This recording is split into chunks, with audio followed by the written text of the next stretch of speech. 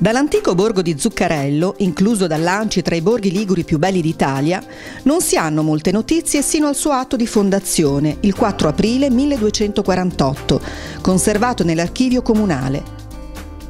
Le sue origini si perdono nel confuso spartiacque tra i territori bizantini e longobardi. Il castello di Zuccarello, pensato dai Clavesana nel sistema per difendere il marchesato, deve precedere di poco la nascita del borgo. Le vicende della sua storia sono sempre state legate alle lotte dei feudatari che lo hanno posseduto.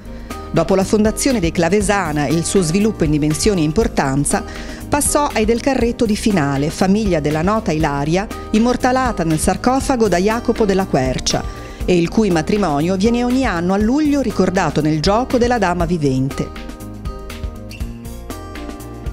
Siamo nella prima metà del XIV secolo e il castello divenne probabilmente la residenza della famiglia, che lo arricchì con gli importanti arredi testimoniati dai documenti antichi. Seguirono contese ereditarie e il declino dei Del Carretto nel XVI secolo. Successivamente fu il fulcro della guerra di Zuccarello, scatenata tra Savoia, francesi e Repubblica di Genova, conclusasi nel 1631 con il dominio genovese, che lo dedicò ad una funzione esclusivamente militare. Fu dunque nei secoli più volte ristrutturato, tra gli ultimi interventi quelli ordinati dal generale francese Andrea Massena verso la fine del XVIII secolo.